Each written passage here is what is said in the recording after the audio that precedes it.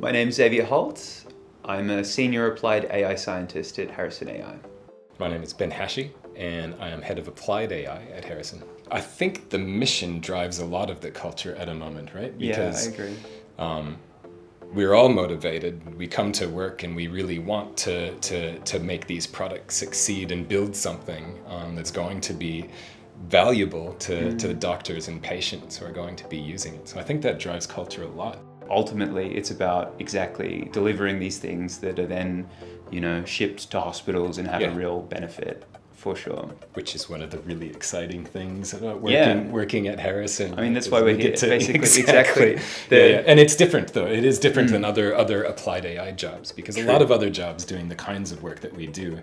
Um, uh, you'd be much more isolated from the impact of, of what, what, what the work is, is, going to have. So mm. you'd be developing models still, but you wouldn't be focusing on something like clinical outcomes. You'd be focusing on something that's a much more abstract um, yeah a, a, single you know some some metric that, that you're using for for optimizing your model mm. so i think that's one of the things that's yeah it helps us focus our work um, but also part of the mission i guess yeah. I think exactly and just to add to that you know it, it's really sort of rewarding when it's not just this paper that you sort of submit or something we we get real world feedback um, basically we, we hear that all the time from you know, where it's deployed in hospitals and like lung nodules that are found that otherwise wouldn't be, that had follow-up scans and have like hugely impactful consequences in people's lives. So it's really, really beneficial for sure. There's a lot of hype around AI. So I think that that's definitely a topic in the industry that is is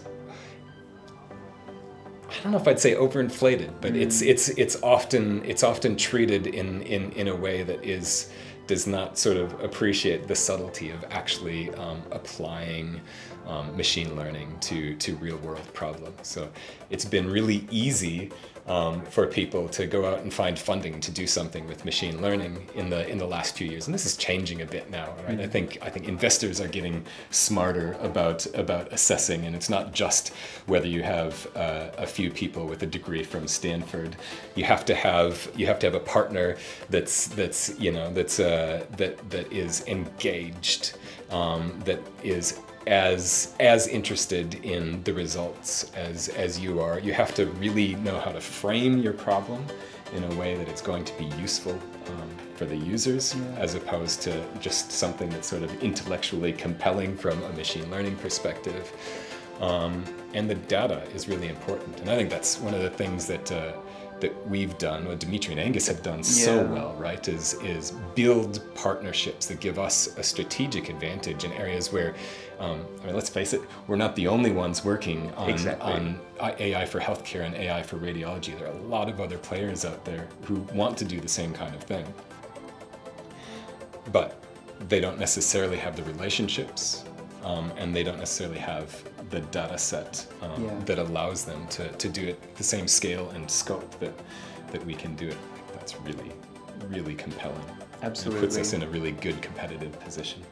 I think just to add to that, because I totally agree, is that, yeah, that, that's sort of the whole model building side of stuff is perhaps sort of overinflated if, if you think about it in comparison to, as you're saying, the data, the data you have you sort of can't can't out train or sort of yes. you know out finesse yeah. you know having a yeah. better data set and so that's super crucial